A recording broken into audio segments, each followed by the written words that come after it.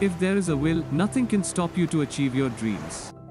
Yash Sonakia, a 25-year-old fresh engineering graduate from Madhya Pradesh, who suffers from visual impairment, received a job offer from IT giant Microsoft, with a salary package of 47 lakhs rupees per annum.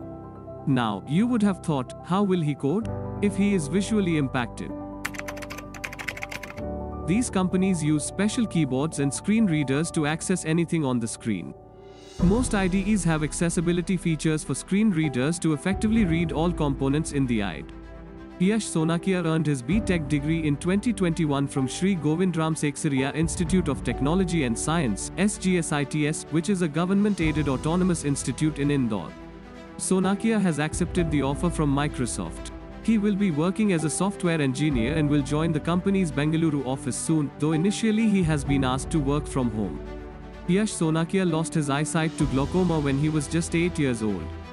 Sonakia narrated his story of applying for a job at Microsoft.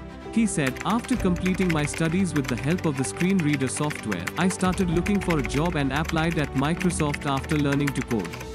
After an online examination and interview, I have been selected for the post of software engineer in the company. His father got emotional about his son's achievement. He said, Yash is my eldest son and I also had dreams for him. His dream of becoming a professional software engineer has finally come true after a lot of struggle. This story will be an inspiration for millions of people who are physically disabled but have a lot of potentials. Please share it with people and inspire them. Hit the like button if you get inspired by the video. Don't forget to subscribe to our channel for more such videos. Thank you so much for watching, we will meet in the next video. Till then, be healthy, be safe.